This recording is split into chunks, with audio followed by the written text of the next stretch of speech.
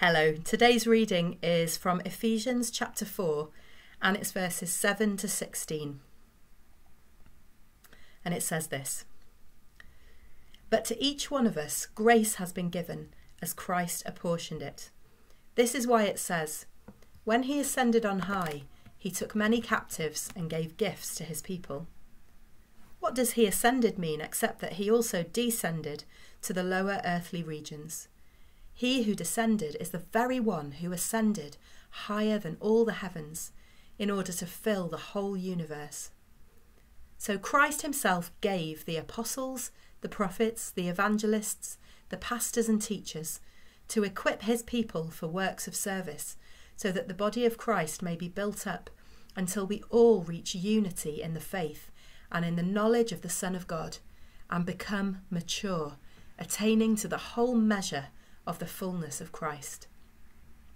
Then we will no longer be infants, tossed back and forth by the waves, and blown here and there by every wind of teaching, and by the cunning and craftiness of people in their deceitful scheming.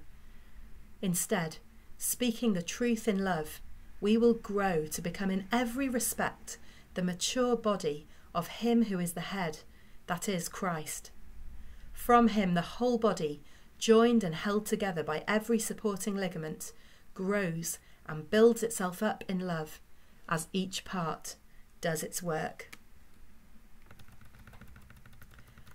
Now, as anyone who's ever had teenagers at home knows, or anyone who's ever been a teenager, uh, growing up is a very painful process.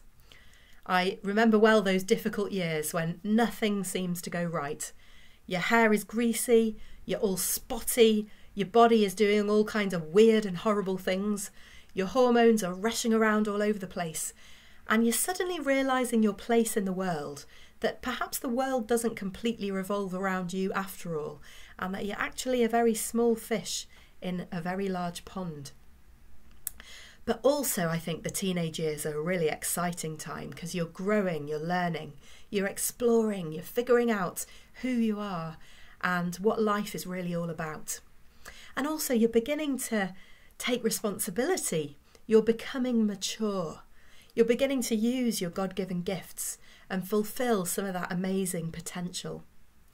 And part of the process of parenting is helping our children to grow up not keeping on spoon feeding them, but helping them to develop the skills that they're going to need out there in the big wide world, helping them to develop into mature, independent adults who can stand on their own two feet.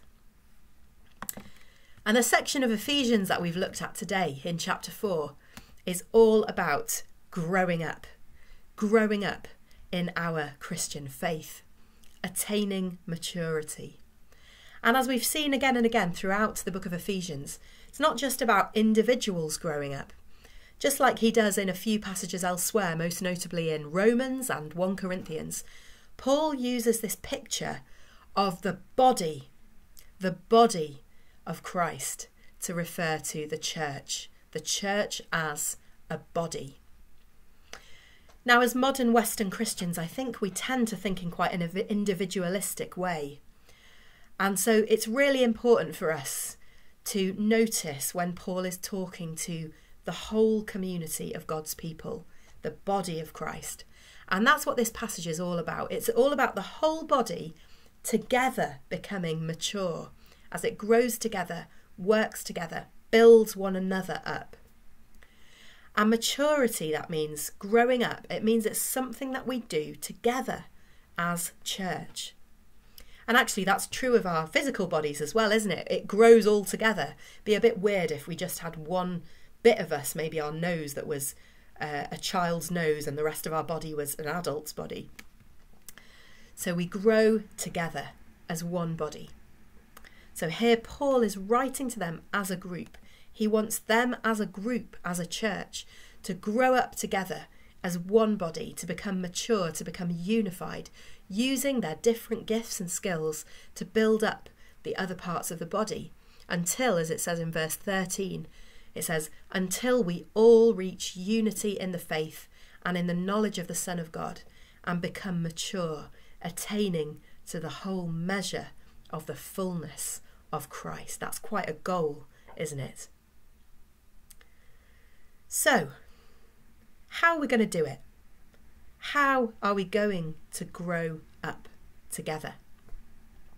Well, Paul says, to help us do that, Christ has given to the church gifts. He's given us gifts. And we often talk about people as being gifted, don't we? We say, oh, they're a really gifted musician or they're a really gifted speaker and so on. But the gifts Paul is talking about in this passage are actually the people themselves that Christ has given to the church. So I'm just going to have a look at verses 11 and 12. It says this So Christ himself gave the apostles, the prophets, the evangelists, the pastors, and teachers to equip his people for works of service so that the body of Christ may be built up. Now, I'm going to stay with these verses for a bit because I think they're really important. First of all, I'd just like us to have a bit of a think about what these words all mean. First of all, we've got apostles and prophets. And um, they've already been mentioned several times in the book of Ephesians. In fact, Paul talks about him being an apostle right at the beginning in verse 1 of the whole letter. And of course, the word apostle means sent one, one who is sent. And it seems to be used throughout the New Testament to refer particularly often to those who are eyewitnesses to the resurrection or to those who have a special ministry sent specifically by Jesus and kind of the founders of the New Testament church. Prophets, of course, are there throughout the Bible and they are those who speak God's revelation to the people. Often we think of prophecy as being about telling the future, and there may be elements of foretelling in the things that they say. But most of all, being a prophet is about telling the truth, about revealing the truth about God's heart, what God is saying to the people. And sometimes this has elements of judgment, elements of warning, calls for repentance. Um, and often as well, it has elements of comfort. Often it has both, if we think of the prophet Isaiah. And prophets throughout the Old Testament and the New are key figures in the life of the people of God. In the Old Testament, we might think of people like Samuel, Deborah, Isaiah, Jeremiah, Ezekiel. In the New Testament, various people are named as prophets, including Anna. Do you remember her? She was at the temple when Jesus is brought there as a baby. John the Baptist is a prophet. Um, we've also got in the book of Acts, we have named the four daughters of Philip as prophets. And there's a guy called Agabus as well, who's, who's um, mentioned as a prophet. Now, in the book of Ephesians, we've already seen Paul refer to the apostles and prophets together a couple of times, and I think if we look at this a bit more closely, it can help us to understand their role. So, in chapter 2, verses 19 to 20, um, we get this Consequently, you are no longer foreigners and strangers, but fellow citizens with God's people, and also members of his household, built on the foundation of the apostles and prophets, with Christ Jesus himself as the chief cornerstone. So you see that apostles and prophets are mentioned together as kind of the foundation of the church on which the church is built on. And then in chapter 3, verses 5 to 6, we get this. In reading this, then, you'll be able to understand my insight into the mystery of Christ which was not made known to people in other generations, as it has now been revealed by the Spirit to God's holy apostles and prophets. So for Paul, the apostles and prophets are really important because they are the ones to whom the truth about who Jesus really is has been revealed. And they have a really important role, like the foundations of a house, if you like, or like the central nervous system of the body, establishing and shaping the church as this diverse multi ethnic group which includes both Jews and, for the first time, Gentiles, non Jews, as part of the people of God. Now, there's a bit of a debate today about whether people can still be apostles and prophets in their ministry. And what I would say is that, you know, in the New Testament, it certainly looks like apostles were seen as a particular group with a special calling at the time of Paul. But I certainly believe that people today can have ministries that could be described as apostolic and that there can also be prophets today. So we've got people who are like sent ones today. They're called to a particular place or people group and they're called to tell the prophetic truth about God's heart for those people. Maybe to bring words of warning or judgment, to call people to repent, to shape the vision as well of what God is doing, to act as like the foundation stones for the church in a particular place to be built up out of and to grow out of. So that's the apostles and prophets. And then we have evangelists. Now, what does that word mean? An evangelist is just someone who has such a passion for seeing people come to know Jesus that they can't help but tell people the good news about him. Those of you listening who are Welsh speakers might know that the Welsh word for gospel is efengyl. And this comes from the same root as the word evangelist. So, evangelist really means a gospeler, a good news person, someone who can't help but gossip the gospel wherever they go. And to a certain extent, this is something we're all called to do. But in my experience, there are certain people who have a real gift for this. They just do it naturally without fear, without having to push themselves. I don't know, you might know people like that. We often think, when we think of an evangelist, as someone like Billy Graham and people in the public eye. But actually, evangelists don't have to be preachers. They can be all kinds of people, all ages, often just quietly going about their daily business under the radar. But they just tell people about Jesus everywhere they find themselves, wherever they go. And then we have pastors and teachers, and these are people generally who we might think of as being a bit like the local church minister. Pastor, that word just means shepherd, someone who looks after the flock, cares for them, helps people to grow in their faith, helps those uh, sheep just not to wander into prickly thorn bushes or onto a busy road.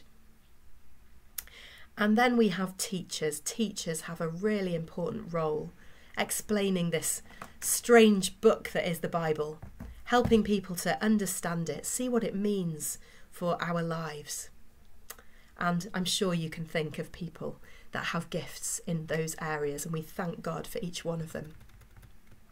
So, each of those people, with their different giftings, are given to us by Christ as gifts for the church.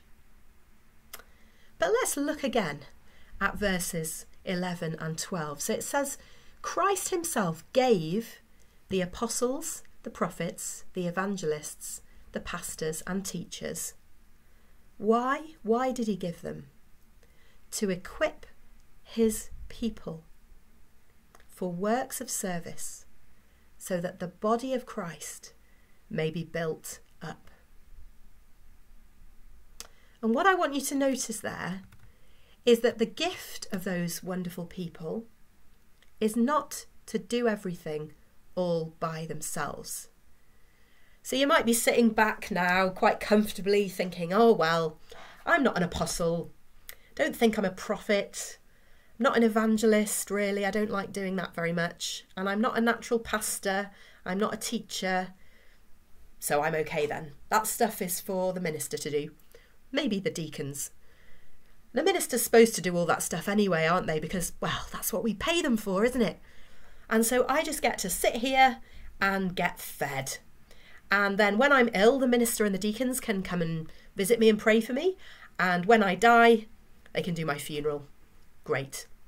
That's what the church is all about. People at the front, and then the rest of us. But that's not what it says. If you have another look at verse 12, why has God given apostles, prophets, evangelists, pastors, teachers? It says they are given to equip God's people for works of service, so that the body of Christ may be built up. And another way of translating that verse is to equip his people for the work of ministry. For the work of ministry. That's everyone's work. It's the work of the whole body of Christ. Spoon feeding is what we do for babies. Sadly, sometimes you hear people say, Oh, I stopped going to church or I stopped going to that church because I didn't get anything out of it. And I can see that it's important to be in a church where the Bible is being taught, where there is depth, where you're really learning. Yes. But too often we just expect the church to be a place where we simply consume, where we are served. And true, yes, sometimes church is a place where we are served. It should be. When we're ill, when we're struggling, we can lean on our brothers and sisters. We can ask for help. We can ask for prayer. Yes, that is church.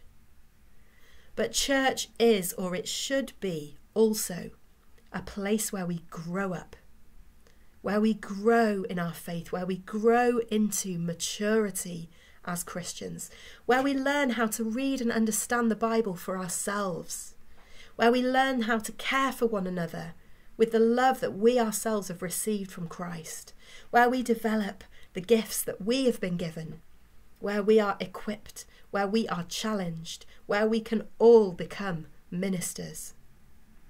Spoon feedings for babies.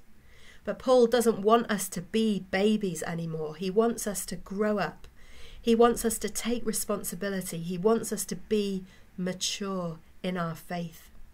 And Paul sees the danger of churches that are just full with a load of baby spoon fed Christians. And it's a dangerous place to be. If you look at verse 14, it says, Then we will no longer be infants, tossed back and forth by the waves, blown here and there by every wind of teaching, and by the cunning and craftiness of people in their deceitful scheming. And we see it over and over again, don't we? It comes in the news. How easy it is in a church full of baby Christians for a controlling and misguided leader to just take everyone with them in completely the wrong direction. As a church leader, I want to be, I need to be surrounded by people who are mature, who are becoming mature, or at least have a desire to become mature, to learn to take responsibility. I need to be surrounded by those people to help me, to correct me. In our Baptist churches, we have a tradition where the church members come together once a quarter to discern the mind of Christ together. And this is a great thing. If we are all, as church members, if we're all growing up, if we're all becoming mature, then we can sharpen one another, we can correct one another, and we can collectively encourage one another so that we don't go off on the wrong way. We all grow together as a whole body. And this is what helps us maintain our unity as the body of Christ in this place. Moving on to verses 15 and 16. Instead, speaking the truth in love, we will grow to become in every respect the mature body of Him who is the head, that is Christ. From Him, the whole body, joined and held together by every supporting ligament, grows and builds itself up in love as each part does its work. If you look at those two verses, they both talk about love. And I just want to emphasize the love in this process. Verse 15, we speak the truth in love. I know a few people, and I'm sure you do too, maybe you're one of them, who pride themselves on being plain spoken, telling it like it is, being blunt. And this is good. This is great. But we need to do it in love, or we need to just keep our mouths shut. Because if we're speaking the truth in bitterness, if we're speaking the truth in resentment, if we're speaking the truth in jealousy or even in hatred or in ungodly anger, then that will not build up the church.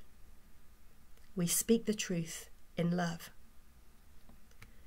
And I also know some people, and maybe I am one of these people, who speak in love, but we want so much to be liked or accepted or to keep the peace that we don't always maybe tell the truth.